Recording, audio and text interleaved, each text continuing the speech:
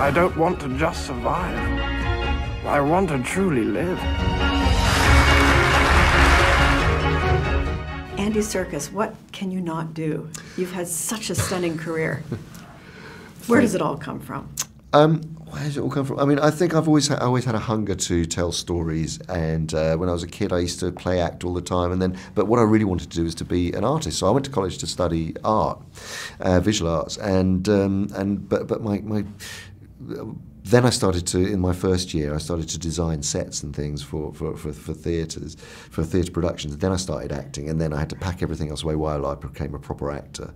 Uh, but I always had this hankering for, for, for telling stories with film, and uh, gradually began to you know write and make short films, and then direct, and you know so. so By any a- means possible. Yeah, yeah, yeah, yeah. It was just it was just wanting to come out.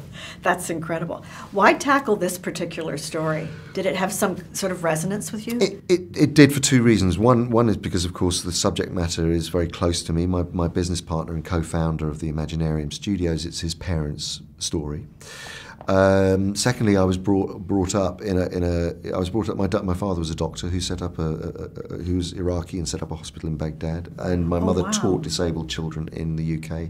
Um, so I grew up with with children who were polio sufferers or thalidomide or, or spina bifida sufferers, and um, and also my, my sister contracted uh, multiple sclerosis about 15 years ago. So so it's sort of this world, the world of you know um, how people respond to fate dealing them a very cruel blow is is something that I was very interested in examining and coming and you know in the same way that my, my sister is doing, you know, does it with such grace and wit and humour.